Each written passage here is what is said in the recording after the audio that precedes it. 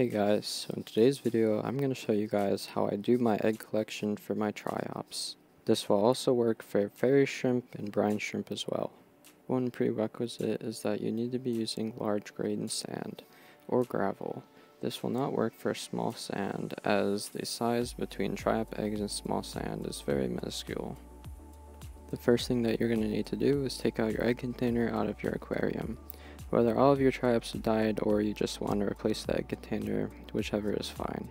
After removing the container, you can use a pipette to go deep in the sand and then get all of the water that is in there to decrease the drying process. After this, you're going to want to set it somewhere that it can be undisturbed for about two weeks to dry out. Preferably this isn't in the sun because you don't really want to cook these eggs. After these two weeks have passed, you can then begin preparing for the egg collection. So first off, once your media is dry, you need to separate the eggs from the sand. Typically when triops lay eggs, they get grouped into bunches and then they kind of stick to the sand, so this just breaks it up. After that, we're going to use an additional bowl and a colander and then a small tray. So kind of a prerequisite for this would be that your sand is large enough so that it doesn't fall through the colander because essentially we're going to be relying that the eggs do fall through the colander. So we're basically just going to be sifting through all of this media and trying to find the eggs.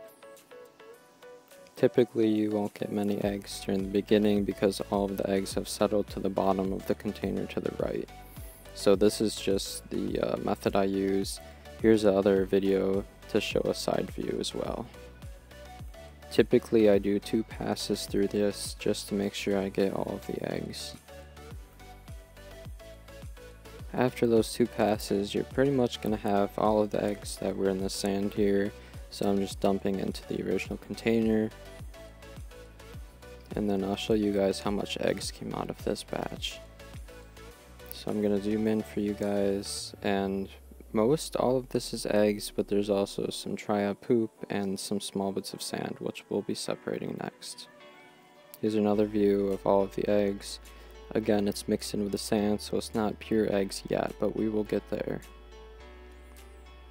There's probably a couple hundred here and they are pretty hard to see with the naked eye but here's a macro shot I got with my phone. Most of the eggs are in great condition, but there are a few that got crushed, but that's just kind of typical for triop eggs. So the method I'm using now kind of relies on that the dust and poop isn't as round and it's also not as heavy so that when you shake it slightly sideways it doesn't go to the bottom but the eggs and small sand does. So then you can collect this triop poop and dust at the top and basically dump everything else into another container so that you only have the triop eggs and bits of sand. And then you can repeat this process a couple times to get pretty much just pure triop eggs and small sand bits that did manage to get through the colander. This is how much dust I got out. As you can see, it worked pretty well.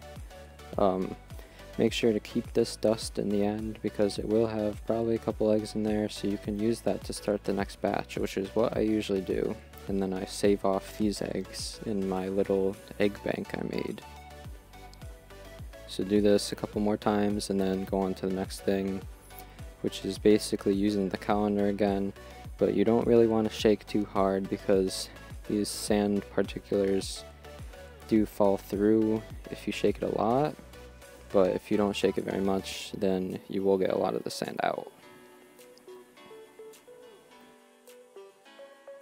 And you can also repeat this process a couple times until you get sufficient amount of sand out to be happy.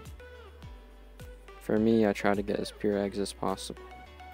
As a result, this is what we have, and this is pretty much I'd say 99% pure triop eggs. There's a couple sand particulars in there, and then we got some dust as well.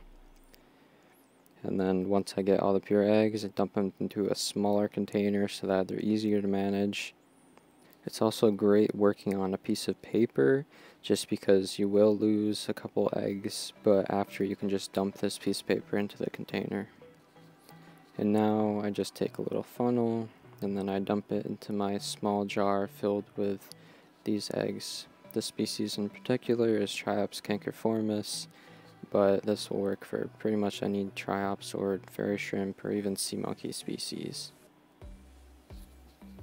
And then once that's done, I just put them right where I store them in my small Triop egg container that I made. It's a nice little display I 3D printed and designed myself. It gives me a great view of all of the eggs that I have already collected and the ones I have yet to collect.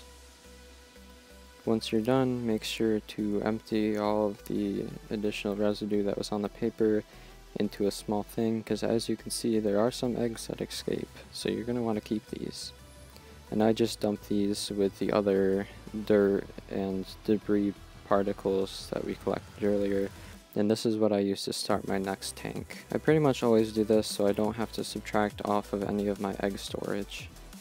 After performing the dry egg extraction, we're going to move on to the wet egg extraction. I use this as kind of my last resort as for getting the eggs because I'm kind of afraid that they're going to hatch when I'm doing this process and obviously that's not the case because it takes a day or two for them to hatch. So mix it up as we did before, pour in some distilled water and then from here you're going to want to mix it up a little bit even more and then get all of these floating sand particles to go to the bottom.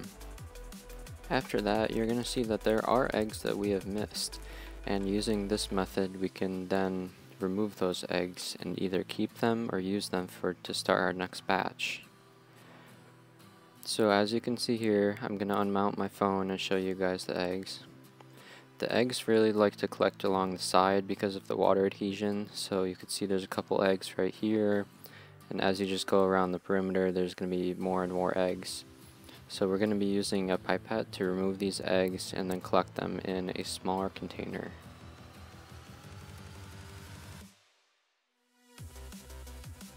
So now you're going to want to grab your pipette and your smaller container and basically we're just going to be sucking up the edges and the perimeter of this container and then squirting it in the smaller container.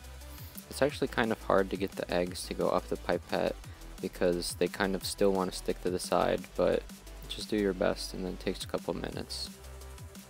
So you can either use these eggs to keep as storage or what I do is I use these eggs as like quote unquote extras and this is how I start my next batch of triops I just dump these right in my hatchery. So after we're done with this step I'm going to show you guys now on how many eggs we collected from the perimeter of this. I'm going to unclip my phone from the mount and then as you guys can see here, we did collect quite a few eggs. You can see around the side of this small container. So if you are going to dry these out, what you're going to need to do is take the pipette and then just start sucking up from the bottom of this container. And most of the eggs will stay on the side of the container because they'll be stuck to the side because of water adhesion. And this is a pretty easy way just to get all the water out. Now you don't have to get all of it, but I do like to get most of it so that the eggs don't really have water to hatch. As you guys can see here, it's pretty dry. I mean, the eggs are still stuck together because they are wet, but the next step is to put them in the fridge so that it's too cold for them to actually hatch. Fridges are also usually low humidity, so this will help dry out the eggs as well. On the other hand, if you want to use them to start your next batch, well, just dump them right in your hatchery and have fun. These eggs should hatch in 1 to 2 days. Here are some that hatch from these eggs. So I hope you guys found this helpful and thank you for watching. Feel free to leave a like, a comment, or subscribe. Thank you guys and have a good day and good luck.